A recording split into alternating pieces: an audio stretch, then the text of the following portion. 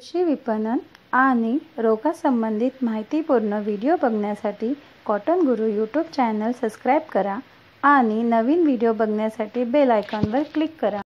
अमृतरावजी देशमुख आंबोडा यवतमाळ महाराष्ट्र. महाराष्ट्राचे राज्य पारितोषिक विजयी मानकरी शेतकरी कशासाठी त्यांना पारितोषिक मिळालं? कॉटन गुरुंनी पण दोन हजार अठरा मध्ये कठाना कशाला त्यांना पारितोषिक दिला? पन्नास क्विंटल प्रति एकर. कापसामध्ये उत्पन्न महाराष्ट्रामध्ये यवतमाळमध्ये. यवतमाळची माती बाबत तुम्ही कोणाही तज्ञाला विचारा ते म्हणेल की तितकी चांगली माती नाही आहे तिकडची. जळगावची जास्त चांगली आहे. त्यापेक्षा थोडी कमी वीक माती आहे तरी पण पन्नास क्विंटल प्रति एकर एका वेळी नाही. वेळोवेळी घेणारे आणि वर्षानुवर्ष कापसामध्ये उत्पन्नामध्ये रेकॉर्ड करणारे असे अमृतराव देशमुख आपल्या संगती जोडलेले आहेत.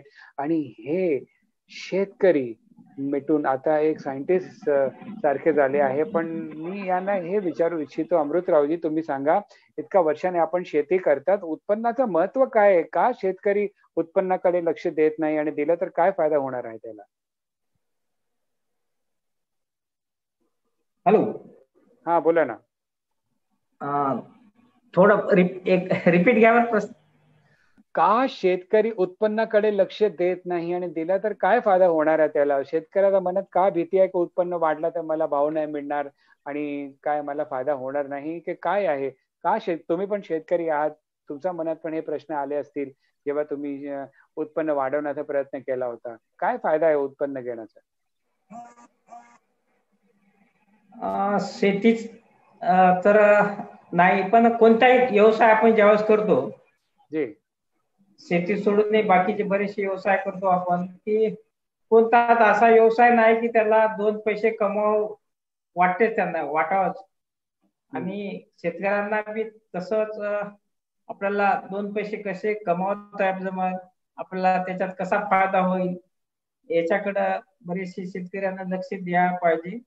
परंतु शेतीमध्ये काय होत आहे आतापर्यंत आपण जे पाहतो की चांगला जे मुलगा आहे ज्याच्याकडे काय चांगले टक्के पडले ते डॉक्टर होतो. आणि ज्यावेळेस सर्वात जर कमी पडला तर ते वकील वकील पण होतो. आणि ज्याला काहीच जमत नाही ते असा शेतकरी शेतीत येतो. कुठेही ऍडमिशन मिळालं नाही तर शेतीमध्ये येतो. हा आणि म्हणून महत्वाचं आहे की यामध्ये जोपर्यंत नवीन पिढीचे शिकलेले लोक जोपर्यंत येणार नाही तोपर्यंत बदल होणार नाही.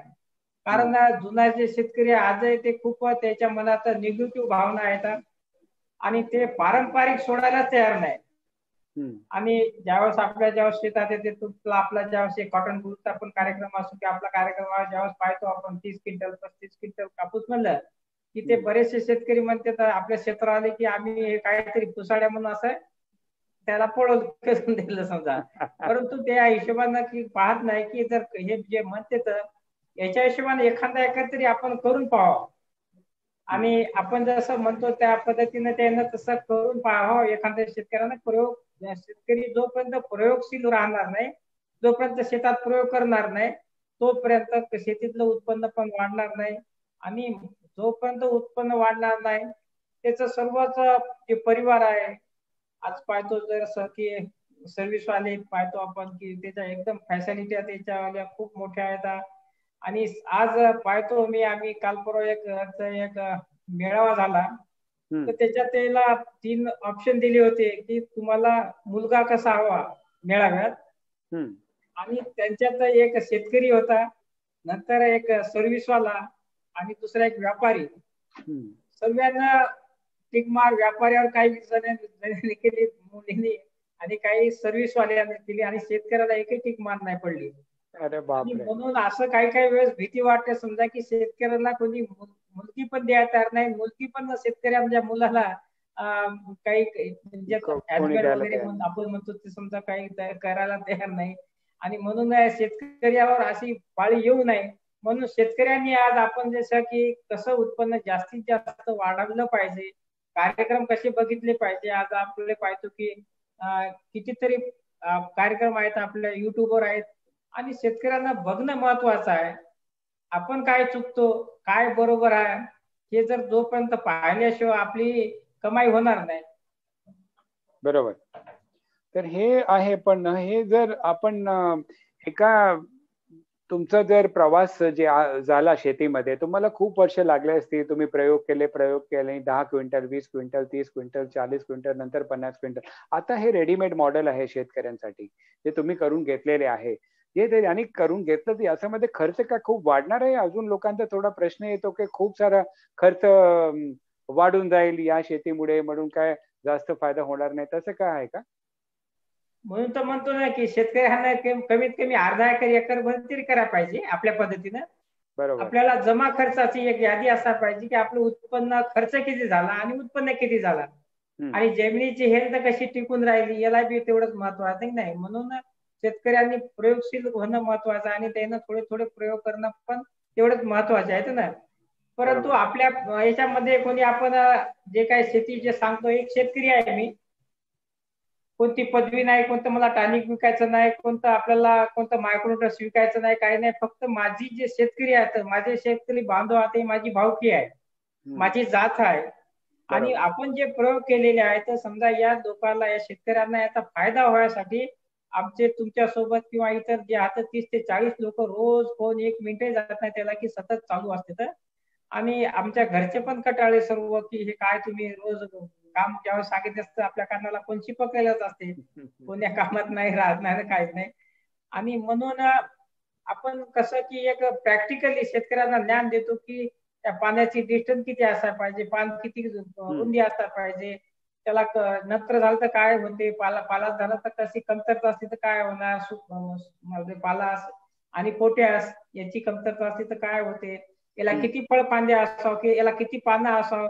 याला किती एका म्हणजे बुडापासून ते शेड्यापर्यंत पन्नास ते पंचावन्न साठ पर्यंत फळफांद्या घ्यावा. सर्वात महत्वाचं आहे फळफांद्याचं आता यावर्षी शेतकऱ्याची एवढ्या मोठे तीन आपण ही जी पद्धत विकसित केली त्या पद्धतीत खूप असे फायदे आहेत की नाही? याच्यात झाडाची संख्या बी जास्त बसायली. आता बोलतो म्हणलं तर खूप वेळ लागते पण शॉर्टकट सांगतो याच्यात खर्च खूप कमी आहे. आता काही काही शेतकऱ्याचे फोन येत आहेत मला. पहिली फवारणी चाळीस रुपयात झाली दुसरी फवारणी ऐंशी रुपयात झाली. खत पण कमी लागले याच्या निंदाचा खर्च कमी येते याच्या ड्रिपचा खर्च कमी येते. त्याच्यात असे आता बोलतो त्यांचे प्रश्न असेल तर मी एखादी कदाचित सांगू शकतो समजा. आणि म्हणून आपण स्वतः शेतकऱ्यांनी शास्त्रज्ञ होणं महत्वाचं आहे. स्वतःच्या शेतावर आपल्याला आपण शेतीबद्दल आपण म्हणजे हे झाल्यामुळं काय होईल की आपल्याला जसं की पंधरा किलोमीटरची भाषा बदलते तसं आपलं शेत तीन जागी बदलते. आणि आपण आपल्या शेताचे आपण शास्त्रज्ञ होणं महत्वाचं आहे की नाही? आणि म्हणून आपल्या जे अमृत पॅटर्न या पद्धतीतच फक्त खर्च खर्च कमी होतो. आणि बाकीच्या याच्यात पूर्ण खर्च खूप जास्त होते. माझ्या पुतण्याचं पण एक दुकान आहे फर्टिलायझर तर मला त्या दुकानमध्ये बसू देत नाही. काका म्हणते तुम्ही आता बसू नका कारण तुम्ही मायक्रोटस वगैरे विकत देत नाही म्हणते. आणि म्हणूनच याच्यात खूप फायदा आहे परंतु शेतकऱ्यांना एकर दोन एकर प्रयोगासाठी तरी करून बघा. आणि नंतर खर्च पाहायचा आपला आपण जे पारंपरिक शेती करतो याचा खर्च किती आहे? आणि आपण या पद्धतीनं आपण खर्च कमी करतो याच्यात काय फायदा आहे? आता यावर्षी सतत आता मला वाटतं सात आठ दिवस तर पाऊस चालूच आहे आणखी दोन चार दिवस राहतीलच असा अंदाज आहे. आता काय होईल की ज्यावेळेस धो धो पाऊस चालू आहे आता यावेळेस की त्यावेळेस आता हे जे पातळ खूप मोठ्या प्रमाणात पडणार. पातळ गळ होणार फुलाची गळण होणार आणि नंतर शेतकरी खतात देणं चालूच राहणार. आणि नंतर मग काय होईल की याच्यावर ज्यावेळेस बोंड जर असले तर त्याची वाढ कमी होणार नाही तर अन्यथा वाढ होणार नाही ना. आता एवढे भरभर कापूस वाढतील खूपच वाढतील आणि शेतकऱ्याच्या चोवीस सव्वीस अठ्ठावीसच्या वर फळपाच लागणार नाहीत ना. आणि मग कापूस काय होईल की आपल्याला फवारणीचा खर्च वाढेल. गुणवत्ता जे म्हणतो आपण ते बोंडाची साईज पण लहान होईल आणि उत्पन्न खूपच घटेल ना. आणि म्हणून आपण ज्या पद्धतीत ज्या वेळेस या पाच एक सात एक या पद्धतीत आपण जी विकसित केलेली आहे पद्धत या पद्धतीत किती पातळ फुल गळू द्या. एकदा तरी एवढा माल लागेल की त्याला अडीचशे तीनशे बोंड सहजच लागून शकतात आणि म्हणून याच पद्धतीत शेतकऱ्यांनी लावायला पाहिजे. आता तर आठ ते दहा राज्यात आपल्या पद्धतीनं कापूस होत चालला आहे. आणि येणाऱ्या काळात या पद्धतीचा विक्रम पण होणार आहे. बरोबर आहे. ही खूप चांगली गोष्ट. आहे आता एक प्रश्न आला आहे बोंदडी येण्यापूर्वी आपण काय काळजी घेऊ शकतो आणि आल्यानंतर काय करायचं? विलास चव्हाणचा हा प्रश्न आहे अमृतावजी.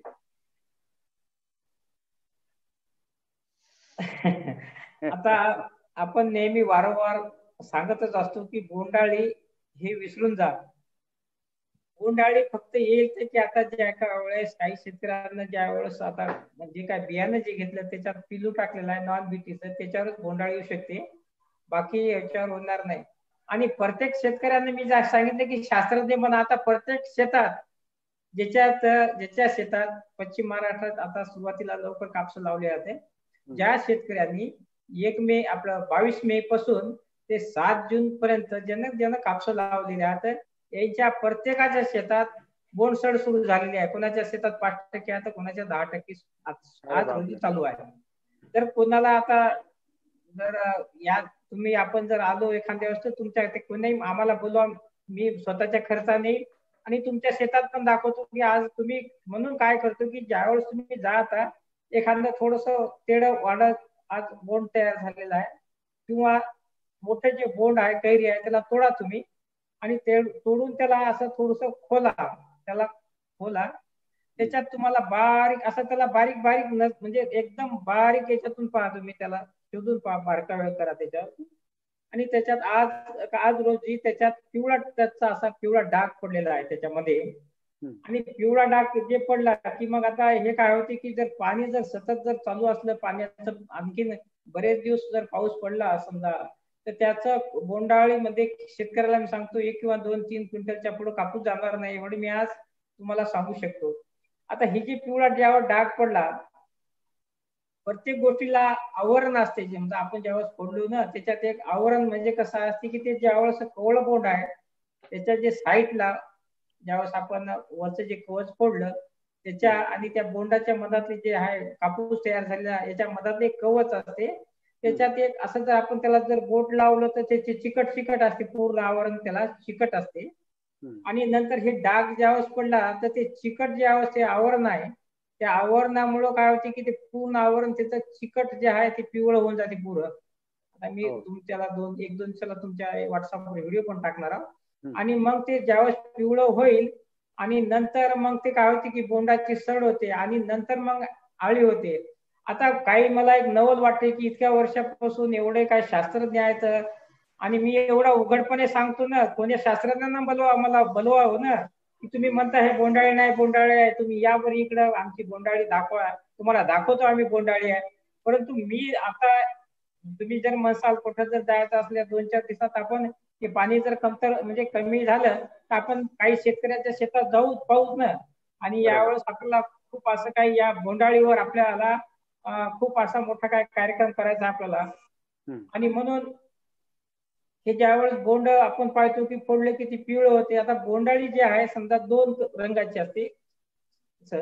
एक काय की जे जे फुलात वगैरे जे पकडी म्हणतो ना आपण जसं की ज्याची पतंग आहे ते पतंग अंडी घालते आणि त्याच्यातून अंडी ज्यावेळेस वातावरण त्याला परिपूर्ण चांगलं जर असेल तर त्याच्या फेवर जर असेल तर ते अंडीचं प्रमाण खूप मोठ्या प्रमाणात त्याच्यातून आळी निघते. आणि आळी निघून त्या पातीला फुलाला मुंडाला डंक मारते. ही एक भाग झाला. दुसरी गोष्ट एक आळी अशी आहे की तिथे तिला आपण एक बॅक्टेरिया म्हणतो आपण. एखादा की एखाद्या जर्मलमध्ये किंवा एखाद्या पात्यामध्ये आपण पाहतो की नाही एखादी सडेली वस्तू असते त्यामध्ये जमा करा आणि त्यामध्ये एक झाकण लावा तुम्ही. आणि काही दिवसाला खोलून पहा त्याच्या ताळ्या ताळ्या दिसते आता हे आळी कोणती आहे की एक बॅक्टेरिया म्हणणारी आळी आहे? एक आळी आहे अंड्याची आळी आणि एक बॅक्टेरिया पासून आळी होणारी आहे. की ज्यावेळेस त्या बोंडात सडन होते वास येते त्या बोंडात आणि त्यानंतर ऑटोमॅटिकच त्याच्यात बॅक्टेरिया म्हणून त्याच्यात आळी तयार होते. आणि ही आळी ज्यावेळेस तिचं वय झालेलं असते त्यावेळेस ती फुटून बाहेर निघते बाहेर निघत्या वेळेस आता कोणी काही काही शास्त्रज्ञ म्हणतात की हे फुलात जाते फुलातून बोंडात जाते. आता ते जर विषय जर कोणी एखादा शास्त्रज्ञ मी जर पुढे बघितलं तर मी त्यांना सांगेल सर्व गोष्टी. आणि या बोंडाच्या आणि या फुलाच्या आळीचा तर कुठंच मतलब नाही. परंतु एखादी जर आळी जर बाहेर जर गेली म्हणजे जर गेली तर तिला छद्र असते. आता इतके शेतकऱ्यांना मी प्रश्न विचारतो की एखादं दोन सोड दहा ते पाच टक्के सोडून द्या बोंडाळी असेल याचं मी याला सहमत परंतु एखाद्या शेतकऱ्याला की एखाद्या शास्त्रज्ञाला म्हणा की ही आळी जर बाहेरून जर गेली तर छद्र कुठं आहे? पण आता हे छद्र कुठे आहे जर म्हणलं तर हे बाकी काय शास्त्रज्ञ सांगतील की ते आळी मधात जाते मधातून वाकून येते आणि त्याच्यावर इथे जे छत्र आहे ते लाळीनं बंद करते. आता किती गोष्ट अहो शेतकऱ्यांना म्हणलं तर चालेल पण एखाद्या मोठमोठे शास्त्रज्ञ असं येणं मना शोभणार नाही ना गोष्टी.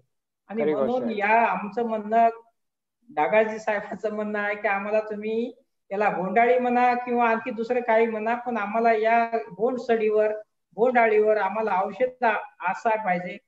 आणि आतापर्यंत आपण पाहिले की डॉक्टर सोनेरी साहेबांचे मी त्यांचे मी इज्जत करतो.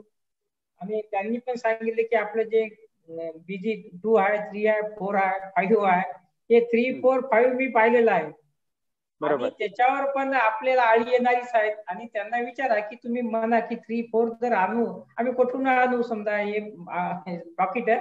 पण त्याच्यावर आळी या नाही पाहिजे. ठामपणे सांगा त्याच्यावर. कसं होईल? काय शेतकऱ्याची पिळू नको होईल. पहिल्यांदा बीजी वन पहिल्या सुरुवातीला निघलं. नंतर बीजी टू निघलं त्यावेळेस शेतकऱ्यांना शंभर रुपये जास्त मोजायचं काम पडलं. बीजी थ्री येईल तेव्हा पुन्हा परत शंभर रुपये जास्त मोजायचं काम पडलं. पुन्हा फोर येईल पुन्हा आणखी पैसे जास्त द्यायचं काम पडत आणि बोंडाळी येईल. तर अशा गोष्टी काही झाल्या नाही पाहिजे. म्हणून एक तर शेतकऱ्याचा खर्च कमी झाला पाहिजे आणि उत्पन्न वाढलं पाहिजे. आणि म्हणून सर्वात जर भीतीचं जर असेल पुढे चालून सर्वात जर मोठा प्रसंग असेल तर बोंडाळीचा आहे. आणि याच्यावर सर्व शास्त्रज्ञानं दुकानदारांना काही कंपन्यावाल्यानं केव्हीके वाल्यानं हे सर्वच काम आहे. याच्यावर सर्वात जास्त म्हणजे एकट्याचं तुमचं माझं काम नाही. हे सर्व मिळून एकत्रित येऊन याच्यावर उपाय योजना काढणं महत्वाचं आहे.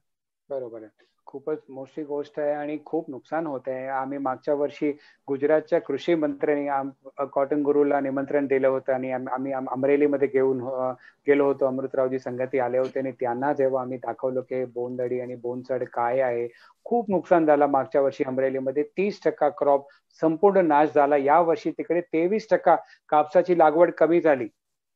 कारण की मागच्या वर्षी इतका नुकसान झाला होता. सर्व लोकांनी आता ग्राउंडनट घेतलं या वर्षी तर हे नुकसान शेतकऱ्याला सहन होत नाही. आणि ह्या बोंदडीवर आम्ही एक विशेष कार्यक्रम घेणारच आहोत. केला पण विनंती आहे. आपल्याकडे जे जे बोंदडीचा आणि बोनसड विषय काही काही संशोधन असेल आमच्या संगती शेअर करा. आपण मिळून याचा उपाय करून खूप साऱ्या हजारो लाखो शेतकऱ्यांना याचा फायदा करून देऊ शकतो. हा जी. सोनूनजी. Sorry hello. हा बोला. हा मी आज सांगतो ना आज कुठे मला नाही कोणाच्या शेतात ज्यांना काय बावीस मे ला कापूस लावला आणि सात जूनला आहे त्याच्या शेतात सात ते दहा टक्के बोंड सडलेली मी दाखवतो. नाही आपण ऑनलाईन जाऊ ना आपण. पुढच्या कार्यक्रममध्ये आपण जलगावचे शेत ऑनलाईन बघू. आणि डॉक्टर सोनूने जी आपण काय म्हणतात हा सर सॉरी तुम्हाला एक मिनिट घेतो मी. ऍक्च्युली खरं म्हणजे मला एक आनंद झाला. मला एक खूप आनंद झाला. की अमृत देशमुख साहेबांना मला खूप दिवसापासून भेटायची माझी इच्छा होती. प्रत्यक्ष नाही भेटता आलं पण आज आपण ऑनलाईन तरी भेटू शकलो. तर सर खूप खूप आपलं अभिनंदन. एक तर आपलं एक नाव मी आधीच सांगितलं की आपलं एक नाव कापूस पिकामध्ये आहे. आमच्याकडे सुरुवातीला अनेक शेतकरी आपलं उदाहरण या ठिकाणी देत होते. आणि मला वाटतं केव्ही के जालनाने बरे आणि यवतमाळ जिल्हा खास म्हणजे मला एक उल्लेख केला पाहिजे. यवतमाळ जिल्हा हा वेगळ्या पद्धतीने चर्चेमध्ये असतो. म्हणजे दोन्ही पद्धतीने चर्चेमध्ये असतो. म्हणजे सर्वाधिक उत्पादन काढणारा यवतमाळ जिल्हा तिथं देशमुख साहेब आहेत. आणि सर्वाधिक निविष्ठा वापरणारा यवतमाळ जिल्हा म्हणायला काही हरकत नाही. अनेक निविष्ठा अनेक कीटकनाशक वापरल्या जातात. जैविक याचा वापर केला जातो. आता जो प्रश्न आपल्याला विचारला विलासराव चव्हाणांनी हे विलास चव्हाण हे खूप चांगले संपर्क शेतकरी आहेत केविकेचे. आणि ते खूप चिकित्सक पण आहेत म्हणून त्यांनी तो प्रश्न विचारलेला आहे. मला वाटतं आता जो प्रश्न आला तो बेसिकली आता बोंडळी फक्त त्यांनी म्हटलंय. नुसती बोंडळी नाहीये. तर आताचा प्रश्न सेंद्रिय बोंडळीचा जास्त याच्यावर आहे. सध्या खरं म्हणजे. बाकी दोन बोंडळे तेवढे नाहीये. पण माझी विनंती अशी की देशमुख साहेब आपण जेव्हा केव्हा इकडे दौऱ्यावर याल आता कोरोना संपू द्या. एकदा आपण यावं. आपल्या आपली चर्चा आपण काही शेतकऱ्यांसोबत करूया. निश्चितपणे आपल्या अनुभवाचा फायदा होईल आणि आम्ही जे काही करतो त्या माध्यमातून त्याचंही आपल्याला अवलोकन करता येईल. तर आपण आलं तर आम्हाला आनंद होईल. दुसरी बाब अशी आहे की मनीची आपण पुढच्या वेबिनारमध्ये मला वाटतं बोंडळीचं आपण स्पेशल सेमिनार ठेवावा जे शक्य असेल तर. देशमुख साहेबांना बोलवू आणि आमच्याकडे डॉक्टर अजय मिटकरी खूप चांगले तज्ज्ञ आहेत. चांगले यामुळे म्हणतो की अनेक शेतकरी संपर्कात ते असतात बऱ्यापैकी सिनियर आहेत आणि तर त्यांनाही आपण इन्व्हॉल्व करूया असं माझं मत त्यामध्ये आहे. आम्ही स्पेशल कार्यक्रम आहोत डॉक्टर तेव्हा आपण करूयात. आता माहीत नाही म्हणजे किती दिवस चालतंय आपलं ऑनलाईन किंवा नंतर प्रत्यक्ष घेता येईल ते माहीत नाहीये. एनसीआयपीएम सोबत आपण खूप चांगलं काम करतो म्हणजे जेव्हा जेव्हा बोंडळीचा प्रश्न येतो किंवा किडोसा प्रश्न येतो कॉटनचा प्रश्न येतो तेव्हा आयसीएआर प्राधान्यानं केव्हीके जालन्याला इन्व्हॉल्व्ह करते. आता सुद्धा आपण एक कोलॅबोरेटिव्ह प्रोजेक्ट त्याच्यावरती करतोय म्हणजे तिसरं वर्ष हे आहे. तर त्याचं मला वाटतं की आपल्याला चांगला शेअरिंग करता येईल त्यातले काय फाइंडिंग आहेत? देशमुख साहेबांनी सांगितलं निश्चितपणे आणि हे शेतीमध्ये अनिश्चित असणारच आहे. तुम्ही कितीही संशोधन केलं सर हो, आपण सांगू इच्छितो मी म्हणून सांगितलं की बाबा बीजी फाईव्ह आलं बीजी सिक्स आलं बीजी सेव्हन येईल परंतु आमची काही मागची पिढा गेलेली नाहीये. आणि म्हणून त्याच्यावर सातत्यानं आणि खरे संशोधक आपण आहात. म्हणजे फीडबॅक आपल्याकडनं येतो. आपण फीडबॅक देता म्हणून संशोधक संशोधन करतात. आणि केव्हीकेचा रोल हा इन बिटवीन आहे. म्हणजे बेसिक रिसर्च आणि एक्सटेन्शन एजन्सी याच्यामध्ये केव्हीके ब्रिजिंगचं काम करते तर ते करण्याला आम्हाला नक्की आनंद होईल. मी म्हणजे फक्त बोललो एवढ्यासाठीच देशमुख साहेबांचं अभिनंदन करतो. त्यासाठी बोललो होतो. संगीत राहिलो ना. तेच बोललो काय? आणि कॉटन गुरुचा रोलच हे आहे की ह्या बघा एकच व्यासपीठावर आज भारताचा सर्वात मोठा सरकारी खरेदीदार सीसीआय वाले आले. महाराष्ट्राचे सर्वात उत्कृष्ट अशी केव्हीके आले उत्कृष्ट शेतकरी आला आणि उत्कृष्ट जिनर आला. तर हेच कॉटन गुरुचा उद्देश आहे. एक प्लॅटफॉर्म असा बनवायचा की बेस्ट ऑफ बेस्ट एकाच प्लॅटफॉर्मवर यावं आणि फायदा फक्त शेतकऱ्याचा फक्त सॉल्युशन वर आपण बोलायचं. प्रॉब्लेम वर जास्त डेलिब्रेट नाही करायचं फक्त सॉल्युशनवर फोकस करायचा आणि शेतकऱ्यांना इमिडिएट फायदा झाला पाहिजे.